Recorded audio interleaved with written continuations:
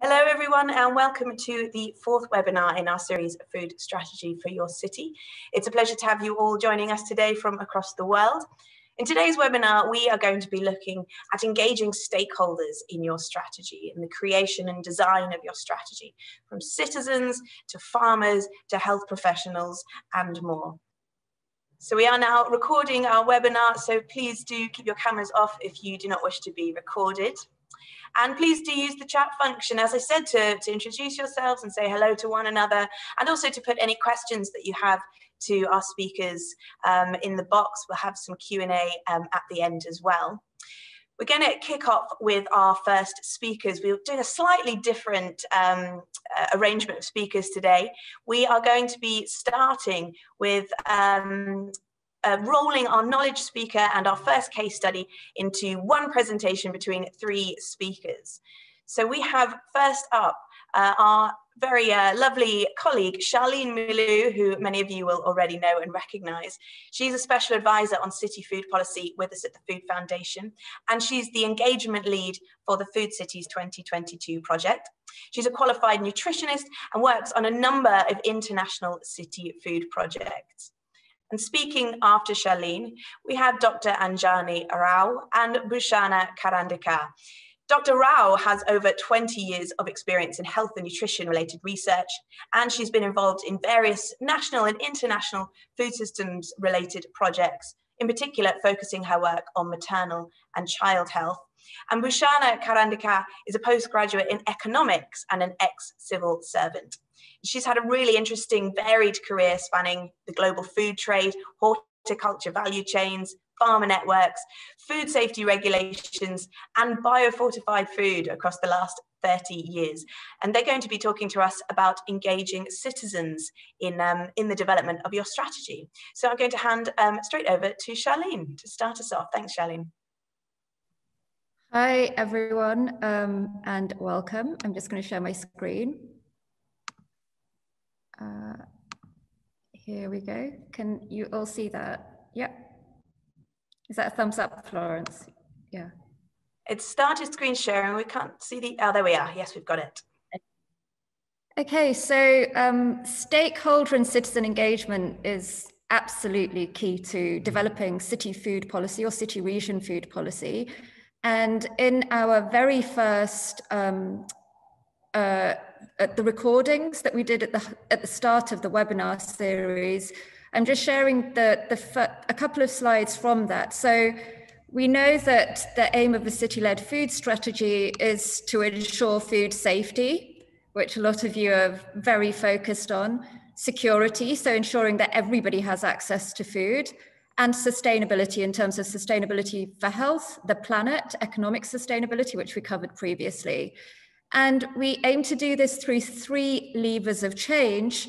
And today, what we're really focusing on is the collaboration side. So, who is it that we're going to be collaborating with, whether we're trying to develop a, a, full city food policy or implement specific food policy actions? So we also mentioned that initial steps include securing senior leadership or political buy-in. Because if our aim is to make policy change, then we need to ensure that there's a governance structure that we report through to enable that to happen. But as important is engaging food system actors. So I'm going to cover who some of those food system actors are and those that are also missing often from the discussion in order to understand the food issues that we face in our city. And food policy is so complicated and so big, um, we really need to give this a little bit of thought. The other thing is to establish a partnership, um, and there are now all sorts of civil society organizations that are supporting cities to establish partnerships of what I'm calling food system change makers. So when you inevitably, as policymakers, are engaging um, stakeholders, you know that there are those that are going to want to block some of the changes that you implement, but you also know that there are those that are really forward thinking, totally understand the issues and are there to act and support. So it's really important to understand who those are. Um, I, I, was thinking about this slide earlier on. It says learn about food system thinking. And actually, we need to do that from the very top. We're all here together learning about food system thinking. But once you've established a partnership, collectively, it's important to learn about food system thinking. And um, in the introduction, for example, um, Florence mentioned that I'm involved in a Horizon 2020 project and some of my colleagues are online. So there's 11 cities in Europe that are going through this process. And actually we're learning about thinking and participatory approaches and engaging stakeholders together. Then we are equipped at that stage to begin drafting our food strategy and action plan or food policy actions, begin to start planning them. A, a, very, very important thing at that stage also is to consult citizens and the stakeholders that you've involved, and hopefully citizens have been involved in that process too. So here are, is a list, and I actually got it from a, um, a Michigan project. I was looking at who's, who's produced lists of the kind of stakeholders to involve. And some of them, yes, we, we, we would totally agree with, but actually what's interesting is from a city point of view, when we think about all those that are involved in food policy, some of us are working um, in health, for example, in public health, but those that are actually responsible for food policy span very many departments, and it's really important to think about who those people are. So it could be those involved in economic development, planning is very important, waste, advertising and regulation, they're, they're endless people. So you need to think about that. Local food producers include farmers, obviously, street food vendors, vendors, micro food enterprises, those involved in the hospitality sector, market organizers. And again, it's not at this stage, it's not important to establish a stakeholder partnership of absolutely everybody, but to think about what it is that you're trying to achieve and who is most at time. I've also mentioned now um, emergency food. Most of us have had to think about emergency food planning during the pandemic, and we've realized that there's a whole new group of stakeholders to engage, um, people who are involved in food banks, soup kitchen coordinators, community canteens, those that are also, I mentioned below, involved in food and social justice, the directors of social enterprises, for example. Finally, we mentioned food systems research. This is such a new area and the research needs to happen at the same time. So many of the projects we're involved with, including Food Cities 2022, we have great academics working with us, and you'll meet some of them in, as I finish this. When you're establishing a multi-stakeholder partnership, I think um, I've, I've written a summary here that you can have a look at. One of the most important things is to assess the power and influence of those stakeholders. And um, and Wageningen University, who's also a partner, partner on one of our projects, have actually developed a tool which visualizes this. And this also helps you understand who the blockers and the enablers are as well. Um, another key thing is to incorporate participatory methods and approaches, and you can use a whole um, range of methods. Um, we're going to cover some in the case studies, and I'm going to mention one which is exceptional as, a, as an example. I think, and this is something that I've started to think about even more is the importance of listening and communication skills. And listening skills are very important. And actually, there are now people globally who are publishing on what it means to listen effectively. But communication skills is also about when we've engaged people, how do we make sure that they understand that we're following through with what we have heard? And it's not always easy, and it's actually not always, even though we'd think that in local government it is happening, it's not always something that does happen. And so that's something very important to think about. Um, I'll give you a couple of examples. Yesterday, um, at lunchtime, we hosted a business lunch of um, quite large businesses in the city that I'm based in, because there's now so much work going on. What we want to avoid is stakeholder fatigue and ensure that the businesses themselves do want to be contacted by us. And interestingly, every single business that was present in that meeting, and it, it, says a lot that they actually turned up in the first place, said, yes, we do want to participate in um, your programs around food policy, but we want a clear roadmap and we need guide, we, we want to know that we're going to be taking part in some clear action. So they don't want to attend endless meetings. And after that, we also hosted our first in-person Living Lab Horizon 2020 meeting. And there's a GP, a doctor that has been part of very many stakeholder meetings over the past decade. And he did say to me at the end, I want to see that there's clear action coming from this. And so um, people do want to participate and engage, but there's also this need to communicate and to make sure that, that they can see that action is going to be taking place.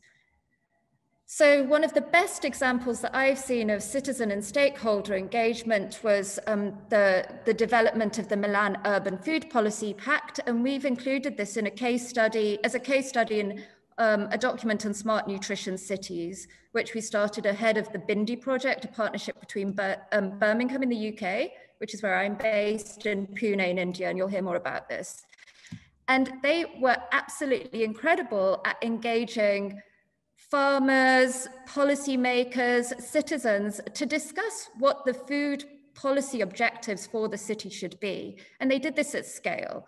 And then they actually also presented that to their city officials before um, they organized a consultation as well with citizens across all districts and before it was signed off. And it was a, it's a five-year plan they developed. And from that, the Milan Urban Food Policy Pact came into action and our cities all over the globe are following that lead. So it's, it's just testament to what a fantastic stakeholder engagement, citizen engagement initiative that was. Um, now, many of you know about the UN Food System Summit, which is taking place in October, and all states, nation states, are expected to host national dialogues. We know that India has hosted a national dialogue, the UK is due to host a national dialogue, and to present a report of what their national stakeholders are saying. But there's also an opportunity to host an independent dialogue, which will feed into the process too. And so um, I think there's going to be an opportunity to learn more about that later on. But um, I've included a link because that also offers that the, the, the, Food Systems Summit Dialogue team are also offering training and support around how you do that. Finally, you're going to, now I'm going to pass on to my colleagues, um, um, Anjali and Bhushana. And the Bindi story started off with engaging stakeholders in both Pune and Birmingham. And actually it was the, the, the nature of the international partnership which really galvanized and accelerated, um, galvanized leadership support and accelerated commitment from stakeholders and both cities decided that they wanted to focus on out of home food policies and practices. And we're still, apart from last year, obviously things had, have had an impact on the work. We're still moving forward together. And a big aspect of this was citizen engagement. Those of you in India and maybe elsewhere know that Pune is exceptional at citizen engagement and has used technology to engage citizens in decision and policy making processes and planning the city creating a vision for the city. And interestingly, we learned from that approach. And we also conducted a survey based on the citizen engagement in Pune. And that's what you're going to hear about now. So I'll end my presentation and over to you, um, Anjali. Uh, thank you, Shaleen. So I'll just share my presentation. Is it visible, I guess? Yes. Okay. Yes. Uh, so today I will be to, I'm Anjali and I'm from nutrition background, currently working at CCDC New Delhi on a food system project. And I will be presenting along with Bhushana about the study conducted in Pune about eating out of home. As you can see, multiple national and international partners were involved in this project. The main ones were Pune Municipal Corporation, Gokhale Institute of Politics and Economics and Food Foundation, along with LSHTM. So as Shaleen has said, the main purpose was to provide data and evidence to make the food policies. We had two main objectives of the study. Uh, first one, to understand out-of-home eating practices, and second one, to consult the citizens about policy options for Pune Municipal Corporation. I will be presenting about the first one and Bhushana will present about the second one.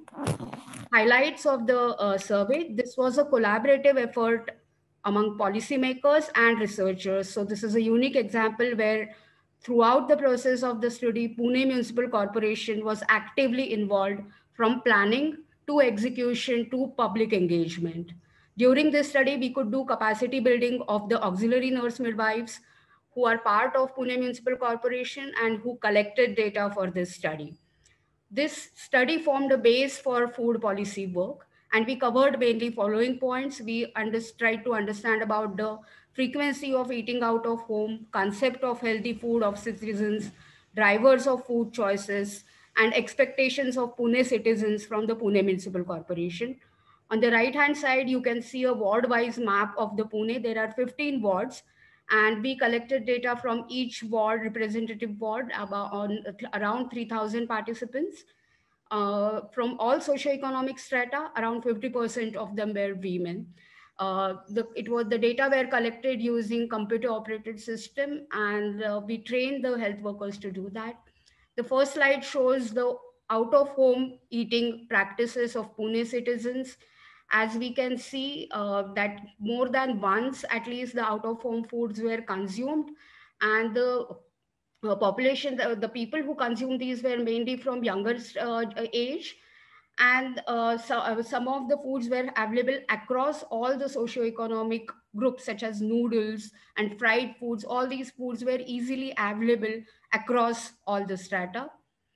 Out of total 14 meals out of uh, in a week which they reported at least one was consumed out of home and mostly 72% pune citizens ordered the, these foods using apps like zomato or swiggy Pune citizens know which foods are unhealthy. So when we ask them which foods are healthy and which are unhealthy, they accurately knew which are not healthy foods to consume. We also try to understand what are the drivers of food choices. And we could see that in the lower socioeconomic neighborhoods, price, state, taste, quality, and healthy option were the drivers. In the high socioeconomic group, these drivers, uh, the uh, priority of these drivers was other way around, healthy option and quality were the first two ones. I will hand it over to Bhushana now. Uh, thank you so much, Anjali. Thank you all the Food Foundation and uh, the persons who have joined the meeting. Uh, we have tried to uh, uh, analyze what people to talked us. One thing is very clear. It is that Pune citizens want to take very bold actions by PMC. The more than 60% of the people who surveyed wanted more teaching of healthy eating in the school curriculum. This was very important for us. The second most, another point that was made was that making fruit and vegetables more affordable. As you all know that fruit and vegetables have a very volatile prices. They want to consume, citizens want to consume, but they want to make it more affordable. Third is that, uh, the, the third is the tastier uh, take home rations from Anganwadi. Anganwadi is a scheme run by PMC, which is a part of midday meal schemes, and uh, uh, citizens want that, those rations to be more tastier. On the uh, unhealthy food, on the uh, street, street food, uh, next slide. On the street food side, we, you know, there were two completely different options that were emerging. Uh, lower income group wanted street food to be safer, uh, to be uh, safe to consume. And they also want promotion of healthier street food because they want to make healthier street food available for themselves. While the middle income group went for the more of a regulatory function, such as ban on unhealthy food, tighter licensing, and uh, more of a health and uh, safety certification for the street vendors.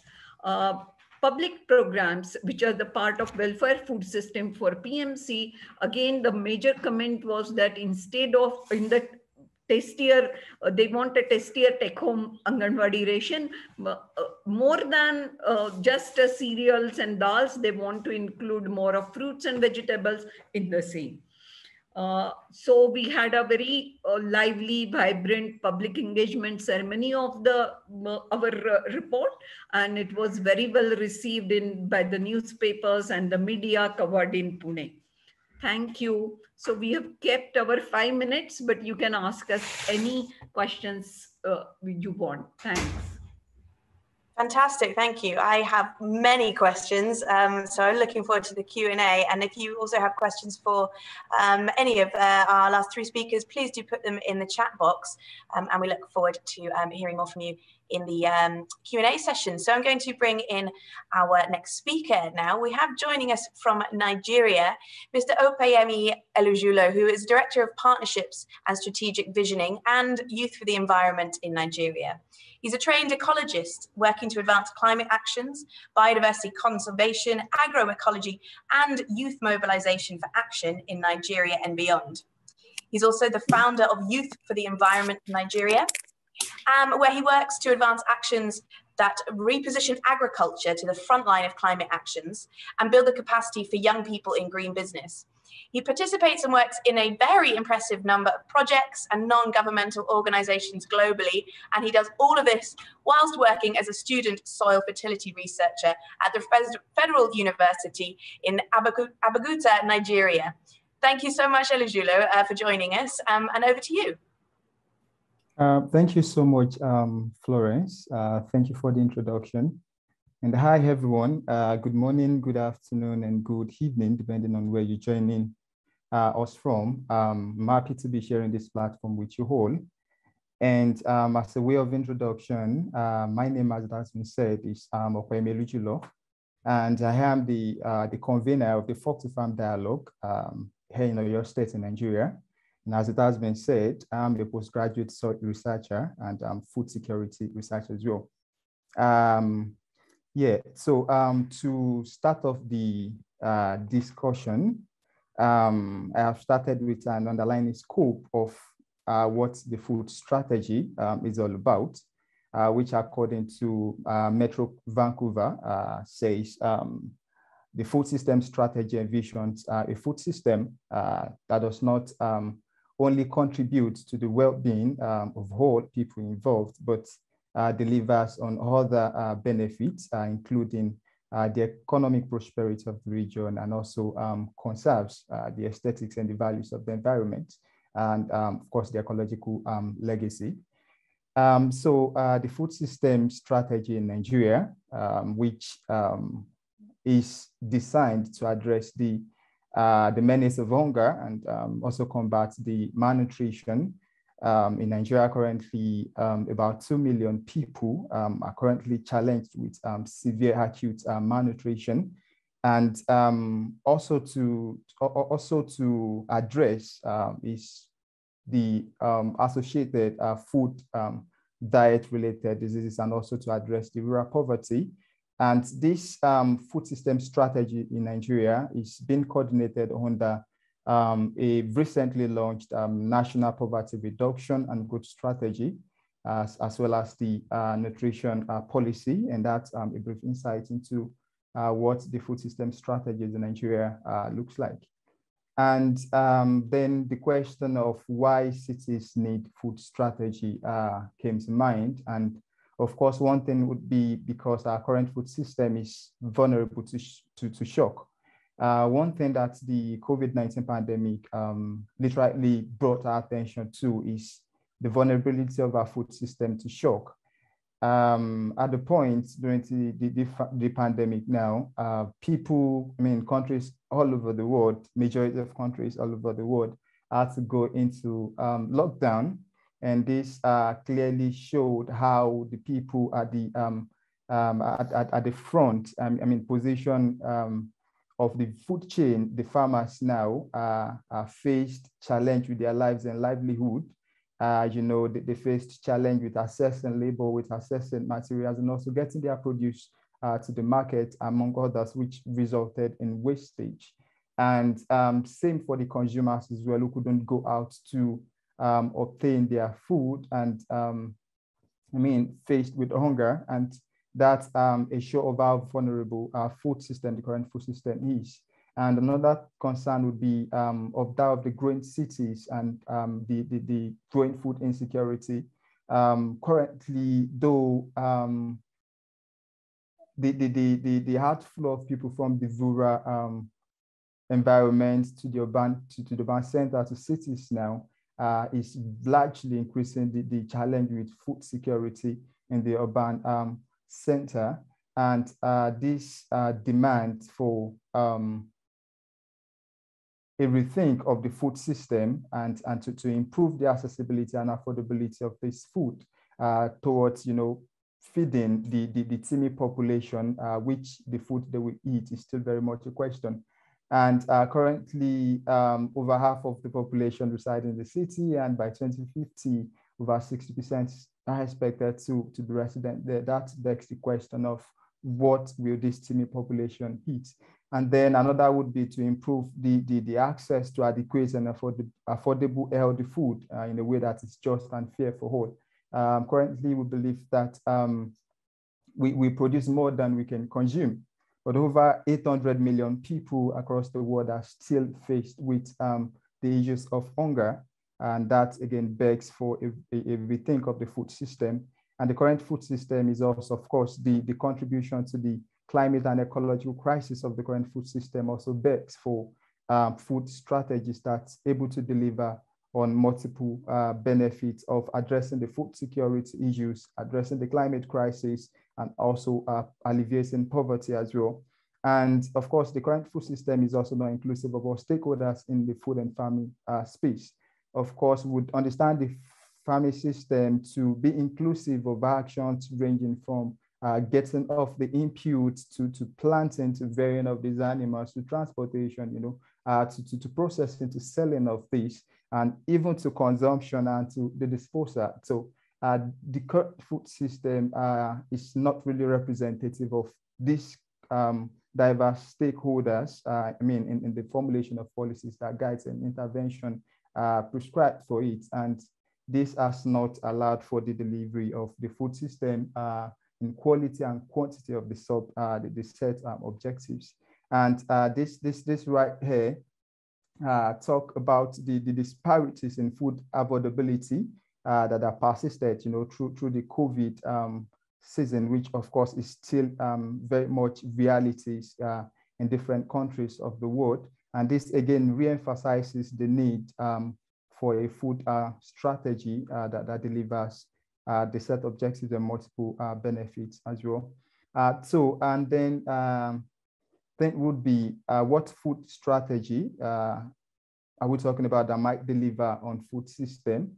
And um, of the resilience analysis identified by uh, Wilson et al. in 2019, uh, so this food strategies that should be developed must be one that uh, is resilient and then should be able to address these five steps of the first one being resilient to what? Resilience of what, sorry, and that of the farming system um, to a number of factors, which could be uh, from the socio-economic uh, to, to, to the political to environmental factors. Uh, many farming system, many farming practices, farming approaches in, in, in developing countries of Africa are largely rain-fed and which automatically puts uh, farmers at a disadvantage in the dry season. So adaptability of this farming system, the resilience of these two um, environmental factors to political factor uh, should be um, one that is largely considered uh, in, in, in food strategy uh, development and implementation. Then resilience to what? And, and that, that would be uh, resilience to challenges, which of course, again, could be environmental, economic, and uh, social, as well as institutional. And resilient for what purpose? And uh, the primary function um, the overall aim of the, the food system, uh, of a food strategy, is to ensure uh, a sustainable and nutrition sensitive food system uh, that, that, that also conserve the aesthetics and values of the ecological um, system. And so um, this function uh, should be such that uh, it, it, it, it's, it's resilient. The strategy should be such that it is resilient to be able to deliver on these functions of um, making private or public goods um, available uh, to the masses. And then the next one being resilient capacities. And that talks about the robustness, the adaptability to some of these um, changes and then transformability uh, as the changes might be. And then the, the attributes that enhances resilience that helps the food um, system to, to, to, to be um, resilient. And of course, that would be diversity, openness, tightness, uh, the system um, reserves and the other one there. So um, then what food system, uh, what food strategies would now deliver? That's the continuation from resilience, the first one being resilience. And the second one is trust must be its foundation. Um, the, the, the level of distrust between um, farmers and I mean people along the food chain is um, to a large extent, and this has largely affected the food system. The farmers not trusting the cities and the cities not trusting the farmers to deliver on promises and interventions. That has really been um, a major challenge to um, a food system that delivers multiple um, benefits and also partnerships oriented, it should be partnership oriented. And that's because uh, the food policy currently uh, have been shared among different ministries who most times are not aligned in their priorities. And this affects the development of um, interventions and strategies that delivers the set objectives. And it also should be inclusive and representative of our stakeholders across the food uh, value chain. And then, of course, backed with policy and supported with other levels of change, um, incentivizing and um, education uh, to change the behavior and perspective of people has been shown largely to, to, to, to, to support behavioral change and change the narrative of um, undesirable circumstances. So this should also uh, be considered in developing a food strategy. And it, it should also aim to address the trial challenges of food security, the climate crisis, and as well as poverty. So um, for the past nine months, um, Youth for the Environment in partnership with um, Nourish Scotland and a host of other organizations um, across the globe from 20 countries um, of the world have been um, coordinating this um, dialogue and consultation with farmers and city representatives to improve this food system. And that's we call the Farm to Farm Dialogue.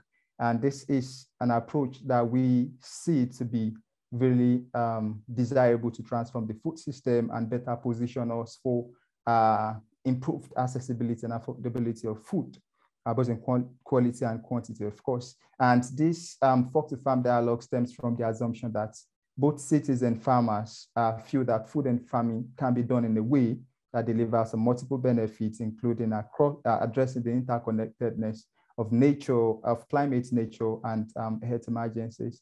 Uh, one thing we saw during the COVID-19 pandemic is how swift the um, local and city actors, I mean, representative stood up to respond to uh, the crisis and see how we can come out of it. And this shows that um, city representatives and other stakeholders in the, value, in, in, the food value chain, if empowered, can really um, help address these um, food system issues. And also understand that a just transition, it also stems, uh, the to Farm dialogue also understand that a just transition in food and farm is needed for both the cities and farmers. And cities here represent every other person along the value chain contributor to uh, the food system and also local and city representatives, uh, political representatives, and farmers represent the diversity of uh, people engaged in food and farming, inclusive of the, um, the, the, the, the, the headers, inclusive of the crop producers and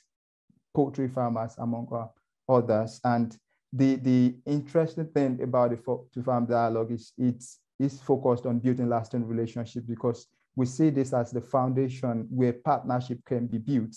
And partnership, we believe, is strongly essential uh, in a food um, strategy, not just between ministries, not just among ministries, but also um, other stakeholders in the uh, food chain.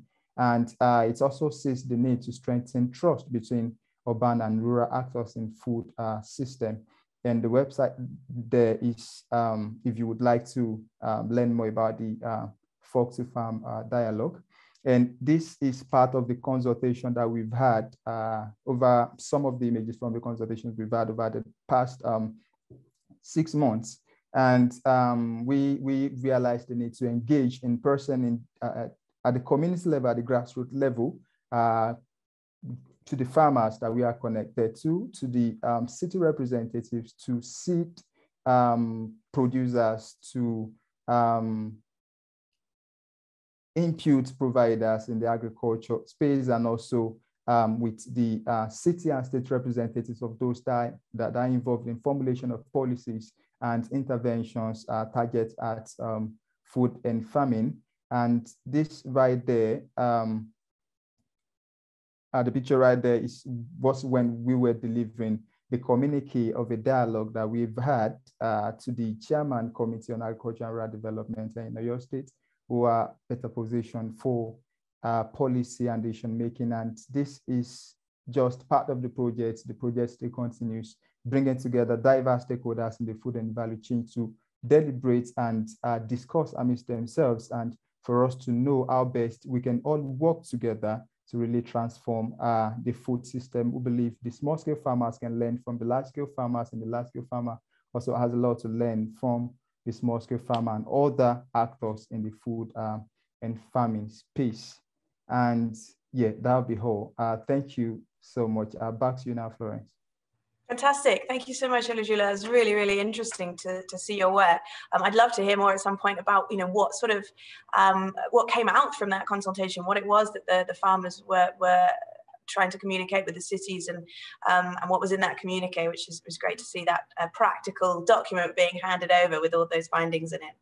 So I'm going to bring in our final speaker now. Pleasure to introduce to you Dr. Pulkit Mathur, who is the head of the Department of Food and Nutrition at Lady Irwin College at the University of Delhi. She's the current president of the Nutrition Society of the India Delhi chapter and is an active member of NetProFan, which she's going to be telling us about today. And she's also a member of the National Committee of the International Union of Nutritional Sciences and an executive committee member of the Association of Food Scientists and Technologists of the India Delhi chapter. Thank you so much, Pulkit. Over to you. Yeah, hi, thanks. I hope my slides are visible. Yes, they are. That's great. Thank you. Okay, thank you so much. And uh, hello, everyone. And thank you for inviting me today to speak to you about NetProFan how, and how this network is engaging stakeholders as well as citizens under the Eat Right India initiative of the Food Safety and Standards Authority of India. The Eat Right India movement stands on three pillars, that is eat safe, eat healthy, as well as eat sustainable. We understand that addressing interlinked challenges of malnutrition and food safety would require a 360 degree approach to food systems. And hence we have established a number of networks of which NetProFan is one of them. Professionals in food, nutrition, and science play a key role in implementing the Eat Right India initiatives this is because they have a huge body of knowledge and experience, which imparts credibility to the messaging. As trusted influencers in the local community, they are best placed to nudge a social and behavioral change towards safe and wholesome food habits. The pan-India presence of these professionals and their associations also enables us, you know, that physical outreach to each and every corner of the country. So this NetProFan is actually a collective of professional bodies, which includes the Indian Dietetic Association, Nutrition Society of India, Indian Medical Association, and associations which include food technologists, culinary experts, analytical chemists, and public health professionals. Currently, there are about 32 chapters of uh, NetProFan, which are spread over uh, nearly the entire country, covering about 18 states and union territories. Now, each professional organization has its own vision, mission, objectives, and they have been performing activities according to that. These activities currently are not coordinated. They're kind of happening in isolation of each other. So what this network does really is to provide a platform where people can pool their synergies, actually pool their strengths. And this complements whatever are the existing government programs and services. This network also provides a momentum to the Right India movement, which has been launched. This network has the power to reach a variety of audiences whether they are professionals, they are academicians, or they are the general public, even in rural areas. Objectives of NetProFan include first and foremost the growth and development of the professional associations and their members, and this is what really attracts them to this network. But of course, the objective is also to support and expand the outreach of the public programs to promote public health, nutrition, and food safety. And that is what these organizations have been independently trying to do. The third objective is to establish collaborative linkages for knowledge sharing, for capacity building, and for consumer empowerment. NetProfan is envisaged as a self-sustaining model. It is functional at the national, state, as well as city levels. And this helps because then we are able to address local needs and issues rather than you know, planning only at the central level. There is a two-tier steering committee. One is at the national level and the other is at the state level. Each chapter has its convener and co-convener who are elected. There is a reward system in place also, and this kind of encourages members to, you know, really uh, participate uh, in uh, different kinds of activities in promoting Eat Right India. There is a host of sources which we are we have available, and uh, the best one is, of course, the manifesto, which is a very well written document and this really helps to guide uh, all the members, uh, uh, you know, about the key themes and the different kinds of activities that they can undertake. There is a website where members can then upload their activities and earn points. And then, of course, there are quarterly meetings in which they can showcase their achievements, others to replicate. The network commits to six key themes of action. These include safe food, combating food adulteration, healthy diets, food fortification, nutrition during the first thousand days, and no food waste. And all these are aligned to the achievement of sustainable development goals. Now, how do we go about uh, at the local level, at the local city level, how do we make these people the game changers? The members are supposed to contact the local food safety department and know about what are the Eat Right initiatives that have been undertaken by the administration. They can then select and adopt programs which are to be implemented in the district and identify different stakeholders and partners who will help them. They organize meetings, webinars, whatever the activity entails, formulate a rollout plan and implement it with defined timelines. And there's a system of monitoring and assessment and this helps to fill any gaps that they may uh, come across in the program. They also need to document their success stories and then share so that others can replicate their models.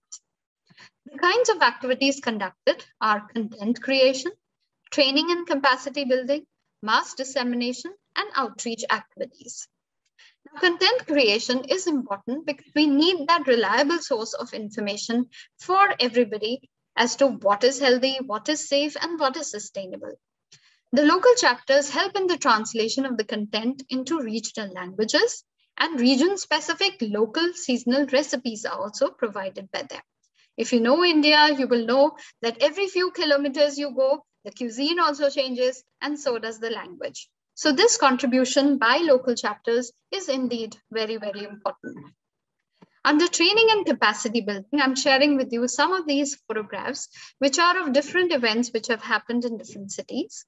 This is a picture of a chef consultation which happened in Mumbai, and you can see by the huge numbers of the number of people who are into this movement and into participating and trying to create a better food safety ecosystem. These are pictures from Bhubaneswar, which is a city in Orissa. And these are of, I'm sorry, it's not very clear, but they are, we've just tried to put in a lot of pictures together. There are students, there are uh, frontline workers, there are professionals, and there are webinars and meetings, and also uh, sensitization workshops done to uh, train and build their capacities on what are the real issues that they need to focus on. This is another picture from Madhya Pradesh where dietitians are being trained and a picture from Jharkhand where a student uh, participated in activities. This is uh, from Punjab, food handlers and food industries being trained uh, so that they ensure safe food.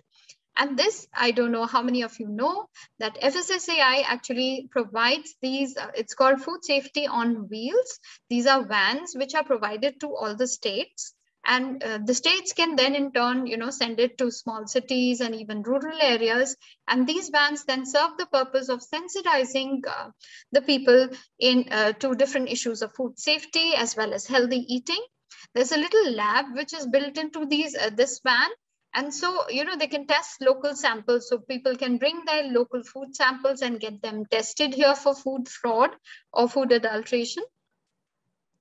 These are some pictures of mass dis dissemination activities of schools and, uh, you know, many schools covered uh, in uh, Punjab. So Chandigarh, this is a picture from Chandigarh. These are only few pictures of, you know, of uh, kinds of activities done. This is a, a, quiz session which was done with the general public just to engage them and to get them, start, you know, thinking about what really is healthy. So questions like, you know, what do you think? Do you think this is healthy? Do you think what, what would be healthier if you eat that? So uh, things which would engage them and would get them thinking. These are again some pictures from Jaipur and pictures from Raipur. This was a really interesting camp that they put up where they displayed the local seasonal uh, healthy foods and recipes made from that uh, for the general public. Outreach activities, especially are Eat, Eat Right Melas. Melas are big fairs which are organized where uh, they have been able to touch like 10 lakh citizens through these uh, melas and these have been in Barpeta district, Mumbai, Indore, Chennai, Raipur, of course Delhi too. And uh, so a lot of stalls on display, street foods, how street foods can be safe as well. Uh, what are the alternate, you know, healthy recipes which people should ch uh, choose from. Now, what, uh, how do we encourage the local uh, government bodies and how are they nudged into being a part of this Eat Right India movement? So recently what was launched was the Eat Right uh, Challenge in which the heads of municipal bodies and districts uh, were invited to participate in this Eat Right Challenge. And uh, basically they were given a list of goals and activities that they had to achieve if they registered. And it was believed that through regulatory activities, the social behavior change, communication, food safety compliance, and preventive healthcare can be ensured. And this would assist in actually strengthening the food safety system through food regulatory environments, provision of safe and healthier food options to citizens, engagement of citizens for adoption and demanding healthier diets through social and behavior change. Um, the innovative practices received special financial funding, so that was the role of the center. Uh, also, these cities then got to brand themselves and got special uh, recognition. This is ongoing, so we don't have the outcomes all out as yet. Of course, FSSAI also supports by, uh, you know, huge body of resources uh, we have e-resources, uh, books, manuals, guidance notes, uh, websites for each of these, uh, uh, you know, initiatives. There's a, a, library of different videos which can be disseminated uh, among the public. There are panel agencies, master trainers who help in capacity building. This is a glimpse of some of those books which have been written by NetProfan members and uh, they are now a part of the whole set of resources. So 55 plus books, 50 plus brochures, 100 flyers, and a whole host of live, uh, video library that can be used uh, by NetProfan members. There is also a NetProfan newsletter which is taken out in which uh, chapters share their activities and that helps you know the others to get an idea, oh, we can also do this. So thank you very much and I'll be very happy to answer any questions. Fantastic. Thank you so much, uh, Dr. Mathur. That was really interesting. So uh, interesting to see how you can use that network of, uh, of, of, nutritionists and professionals to really influence interventions and, and policy within a city. Um, does anyone have any questions that they would like to put to our speakers? Please feel free to raise your hands if you um, have something you'd like to ask. I would like to, to uh, start off with a question to all of our speakers. I mean, there's there's going to be so many interesting findings that come from these um, engagement practices. Um, have you got any any great examples of how these findings have been implemented within a city to to actually really change the approach um, and the strategy within cities? And there's there's almost certainly going to be many conflicts and um, that, that come up along the way between different interests within a city food system. How have these conflicts risen up and how have they been reconciled? Would anyone of our speakers like to come in um, to comment on, on that at all?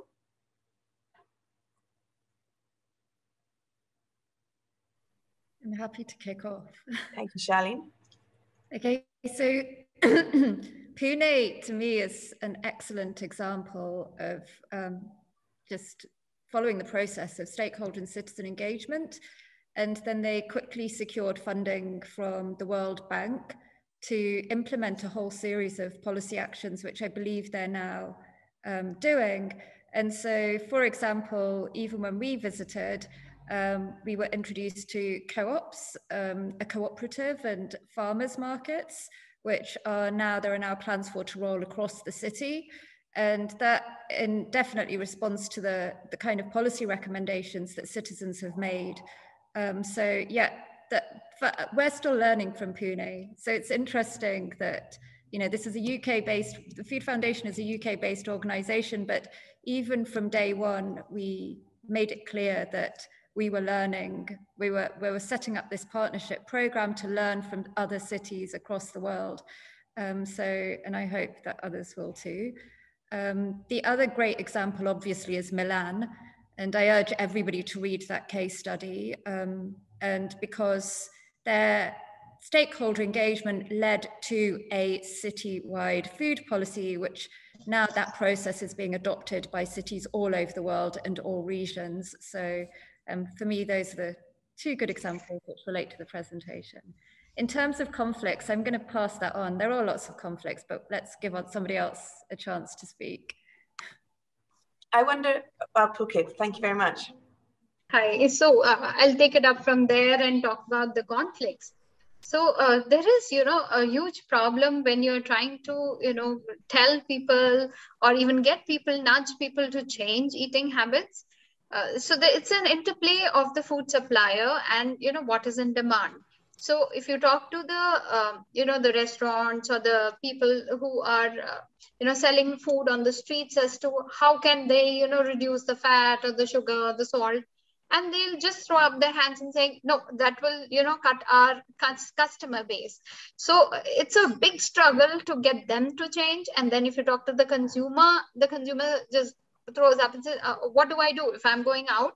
I have to eat the food that is available. So, you know, that getting the two to actually uh, talk to each other and say, okay, as a consumer, why don't you demand this? If you demand, then the, there will be a supply for it. And on the other side, why don't you offer one alternative to the consumer and see if it does well in terms of sale? Because th this is a big conflict which is always there. Just, you know, with ready to eat food, as well as with packaged food because they you know there's always this uh, struggle with the industry as to the, you know them throwing up their hands saying nothing can be done we cannot reduce right so uh, yes the you know regulatory authorities are there and they're trying to push them and they're trying to nudge them but this conflict is actually very difficult to solve yeah, I can, I can imagine. I wonder um, if Elujulo is still with us, if there's any conflict that's arisen, arisen between um, the, the asks of the, of the farming community in the rural um, areas um, in conflict with, with the urban agenda. Um, yeah, I, I think um, the conflict I would like to relate with her would be at the uh, producers level, at the food producers, you know, between the crop producers and then the herders now uh, which is something that has been going on um, for a long time now in Nigeria between uh, crop producer and then the cattle uh, rearers now. Uh, the cattle, uh, the herders now want open grazing and uh, most of the time uh, the cattle would wander into the crop farm and then consume all the uh, crops of the farmers and this has really uh, uh, led to, to a lot of um, issues, loss of lives and properties.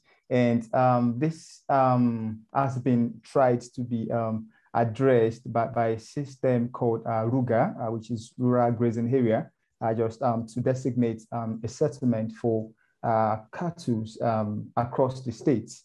Uh, but the, the issue is the problem is uh, people in the southern part of the country are concerned about this happening because of the level of insecurities um, uh, being perpetrated, I mean, the atrocity being perpetrated by uh, some of these. Um, um, uh, I, I am trying to choose my word carefully now, but uh, this this insecurity, this insecurity challenge is there, and this has led to a lot of conflict. And um, the, the Ruga seems to be the best option that is really uh, being explored at the moment to really address this challenge. And this has largely contributed to the challenge with food security because the crop producers hardly go to the farm to, to, to produce in, in the fear for their lives and properties. And if the farmers don't get to go to the field to produce their crops, the crop farmers now, that means the supply to the uh, cities um, is be, will become greatly reduced. And that's what we've been experiencing. But uh, the option of Ruga is still currently being explored. And uh, we are seeing some green lights that this might become uh, a thing, which this also came up um, a lot of time when we met with uh, both the cities as well as the farmers uh, during our consultation and what the farmers are now saying, uh, the crop farmers now, what they are now saying might be the best option is to uh, ban open grazing and then as much as possible and as fast as possible see to the implementation of um, the rural, um, the, the grazing area now, which is being explored. Yeah. Great. I know that's such a, a, powerful example of how important these dialogues are to really understand what's going on for all different stakeholders and to work together to, to come up with these solutions that are practical and that work for everyone within a strategy. Um, Anjali, we have a hand up. Uh, I would just like to add, uh, yeah, Shaleen already mentioned about the Pune Urban Food Pilot uh, by supported by World Bank. I was uh, part of it. So I would rather talk about the uh, conflict resolution, uh, how we are trying to uh, make it. So we have designed an intervention in Pune city where we are training farmers for the sustainable agriculture and the same produce will be sold for that we have uh, engaged with the organized retail shop and we are keeping some uh, separate place for the sustainable agriculture. And whatever the difference between uh, you know the extra pay how much people are consumers are willing to pay more to the farmers with the certification. And uh, what is exactly the cost? That uh, gap funding will be taken care of by the government or some other instruments. That's what we are planning. Uh, i just gave it as an example for the conflict resolution uh, between the two stakeholders like because sustainable agriculture is uh, more costly. Um, how much right. but yeah Fantastic. So, if I understood correctly, um, that was a, an example of how that, that engagement process not only was a way of um, engaging stakeholders to to kind of look at what needs to go into the strategy, but also to create those connections to work forward as partners in the future in the delivery of the strategy. Exactly. Institutional mechanism to uh, compress the value chains from sustainable farmers to the Pune citizens because they mm. want healthy food and uh, directly from farmers for that. Great there's a lot of crossover between um, the initial engagement when you're creating your strategy and also we've talked a lot about partnerships and we've got a whole nother webinar in two webinars time about working as partners. And then finally our, our seventh webinar is about growing the food, food movement. And it's you'll, you'll find that it's many of those same stakeholders that you're engaging throughout the process that are, are part of all of these different elements of the, the creation and the delivery of the strategy. Um, so lots of interesting crossover. That brings us very neatly to the end of our session. Um, next, uh, the next webinar we have in uh, two weeks' time on the 18th of August, we're going to be looking at data and information and how we use uh, mapping techniques um, to really understand your city, your site, to make your strategy really, really uh, location specific. So we hope uh, you'll join us on the 18th. As usual, I will send a follow-up email with a recording, with our presentations, and with a link to register for our next webinar. Thank you so much, um, as ever, for joining us today. I hope you found it informative, um, and it's a pleasure to have had you all. Thank you very much to all of our speakers for joining us, and we'll see you in two weeks' time. Very best. Thank you very much, everyone. Goodbye.